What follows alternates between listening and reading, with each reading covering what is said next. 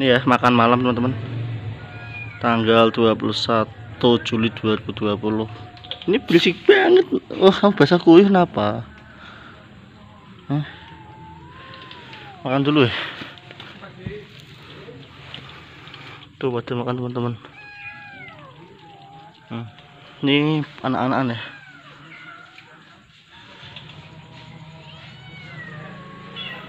Bus masih ada lagi. Bus bus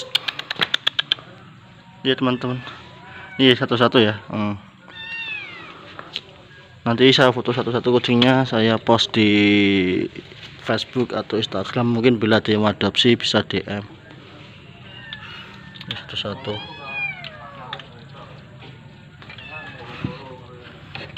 Itu paling besar ya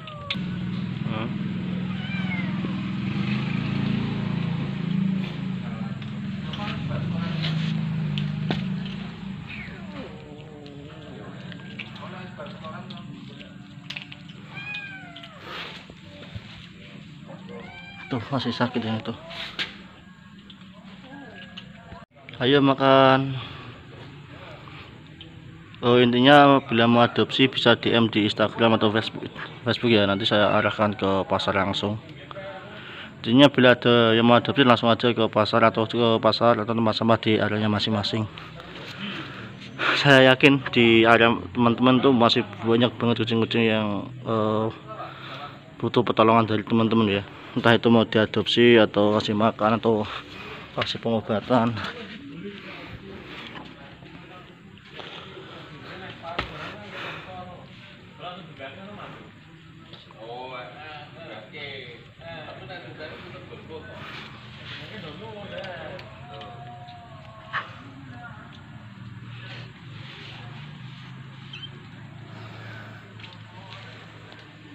tempatku masih gerimis teman-teman.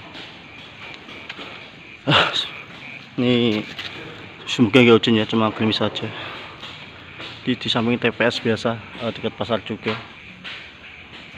Itu tempat sampahnya.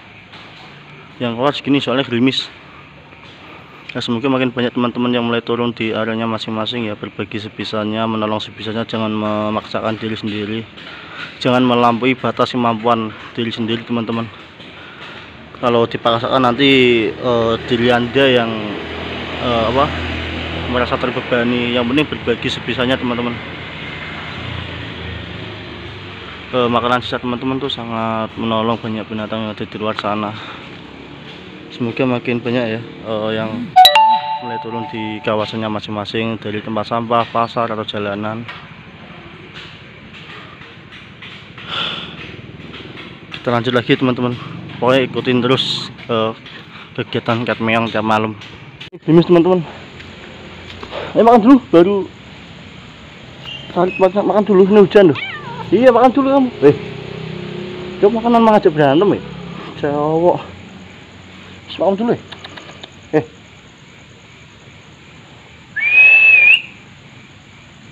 Makan dulu ya. Nah. ini hujan ya gerimis makan sih ya dimakan tinggal segini. Uh, keluar tiga ya. Yang lain tuh nggak tahu ke mana. Mungkin masih di tempat sampah sebelah. Intinya berbagi sebisanya teman-teman.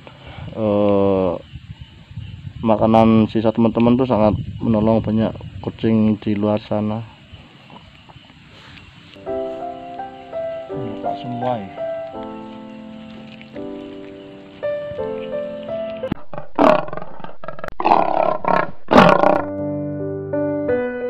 Pasal 302 KUHP menyebutkan, barang siapa tanpa tujuan yang patut atau secara melampaui batas, dengan sengaja atau melukai hewan atau merugikan kesehatannya, tidak memberi makanan yang diperlukan untuk hidup hewan, akan diancam pidana penjara paling lama 3 bulan.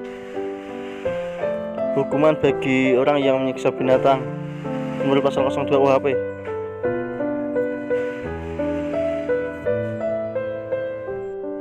Menurut Tirto, Pasal 302 KUHP menyebutkan, barang siapa tanpa tujuan yang patut atau secara melampaui batas dengan sengaja atau melukai hewan atau merugikan kesehatannya, tidak memberi makanan yang diperlukan untuk hidup hewan, akan diancam pidana penjara paling lama 3 bulan.